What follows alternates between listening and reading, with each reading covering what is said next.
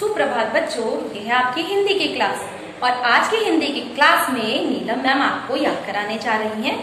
कविता, हिंदी की कविता, शिष्टाचार। कविता शुरू करने से पहले मैम आपको कविता के नाम का अर्थ बताती है। शिष्टाचार। शिष्टाचार का मतलब होता है अच्छा आचार, जो हम दूसरों के साथ अच्छा व्यवहार करते हैं, जो हमारे एटिकेट्स होते हैं ठीक है? जैसे अगर कोई आता है तो हम उसको गुड मॉर्निंग गुड आफ्टरनून या नमस्ते या प्रणाम या नमस्कार बोलते हैं। ये क्या होते हैं हमारे? शिष्टाचार होते हैं। ये हमारे अच्छे आचार होते हैं, जो हमें मम्मी पापा सिखाते हैं।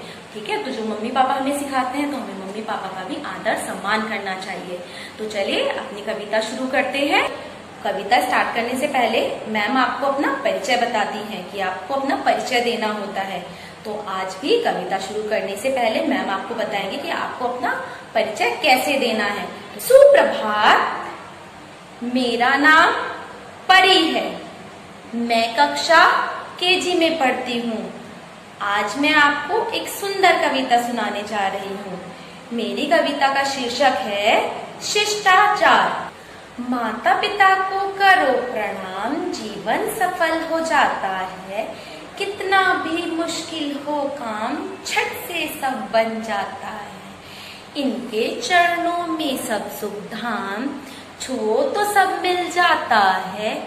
सम्मान करो जीवन भर इनका, यह शिष्टाचार बताता है। धन्यवाद। तो बच्चों, आपने देखा, मैंने आपको एक कविता कैसे याद कराई है? ऐसे ही हम इस कविता को दोबारा दोहराएँगे। चलिए फिर से शुरू करते हैं।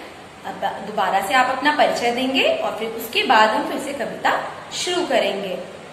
माता पिता को करो प्रणाम, जीवन सफल हो जाता है।